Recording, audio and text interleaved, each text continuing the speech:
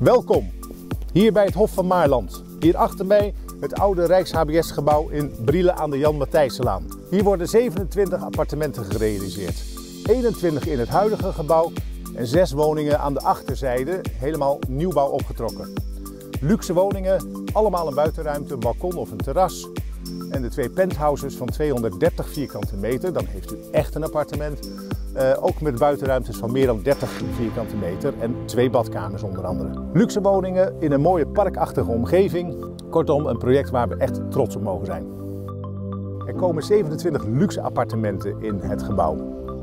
Allemaal appartementen met hoge plafonds, mooie raampartijen. En als u binnenkomt in het gebouw, dan ziet u een gigantisch fraaie centrale entreehal.